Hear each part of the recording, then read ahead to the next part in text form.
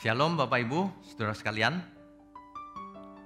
Di dalam dunia komputer ada istilah yang namanya error. Error ini terjadi kalau suatu sistem tidak berjalan atau tidak bekerja sebagaimana mestinya.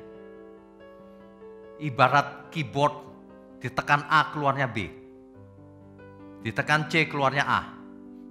Tidak bisa dipakai tidak berfungsi, malfunction. Demikian juga dalam hidup kita yang disebut oleh Alkitab hamartia.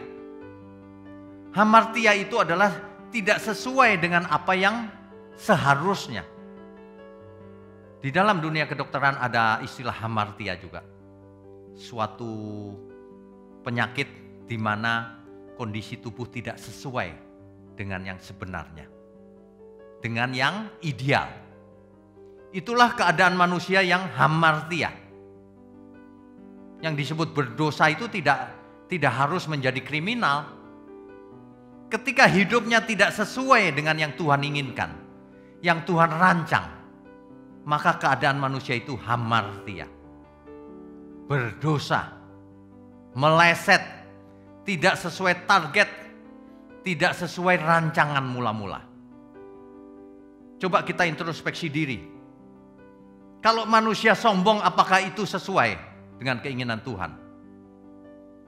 Kalau manusia itu sukanya menipu, berbohong, apakah itu normal di mata Tuhan? Kalau manusia ini, itu ingin disanjung-sanjung, apakah itu normal? Itu hamartia semuanya itu meleset dari targetnya Tuhan. Inilah yang Tuhan usahakan agar manusia tidak meleset, agar manusia kembali ke jalur yang benar, agar manusia hanya hidup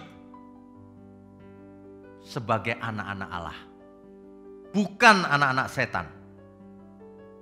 Manusia dunia sudah banyak yang meleset, bahkan orang yang ke gereja banyak yang meleset. Di gereja berpraktek mistik, bukannya Alkitab yang ditekankan. Mari kita kembali ke Alkitab. Mari jangan meleset. Mari kita kembali kepada firman Tuhan yang benar.